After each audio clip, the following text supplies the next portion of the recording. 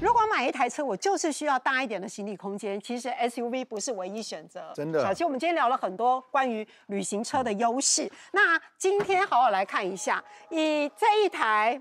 Focus ST Wagon 来说，他还特别去选了一些套件，你觉得特别好用吗？对，这一次福特六合它有引进同步引进德国的一些原厂套件哦。嗯，那开旅行车我觉得有型很重要，实用性更重要。这一些配件真的为很多族群都设想到。我们看到这个呢是软质的行李箱的隔网，嗯，哦，这个是正统的欧洲修旅车，呃，欧洲旅行车都会有的选配件。那很高兴，这次国产旅行车上面也可以选配。如果你有露营的朋友，我觉得选起来真的，或者有养宠物的朋友也给他选起来，对对不对？那只有这一种可以选吗？而且不止一种，不止一种。来来来，一步到这一台 Focus Wagon，这一次真的很多种啊！刚刚有看到不一样的。现在大家的小孩除了真的小孩之外，很多是毛小孩，是的，对不对？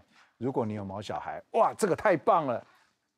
哎，它固定的很好哎。对，它是金属的哦，而且它就是真的有支点可以固定的，而且是原厂的精品哦。这样的东西的话呢，如果比如说我们一起出去旅游的时候，猫小孩可以在后面，它有一个自由伸展的空间，嗯，就跳上去活动啦。对啊，它也不会冲到前面去，造成开车的。那时候有说，在这个状态之下，它是六百五六百三十五公升，对，打平一六五三嘛。还有刚刚德哥有特别提到说，里面有一个。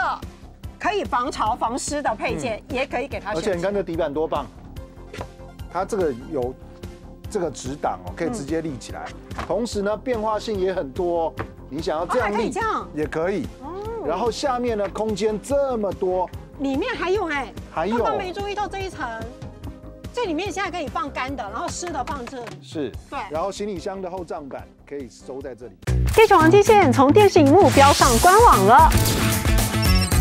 全球第一手车市报道，年底 Toyota 的全新增速力量，我们现在试驾就满足你对车的所有想象。气压旋转你也看不到它。踩下油门，地床机械邀您一起上线。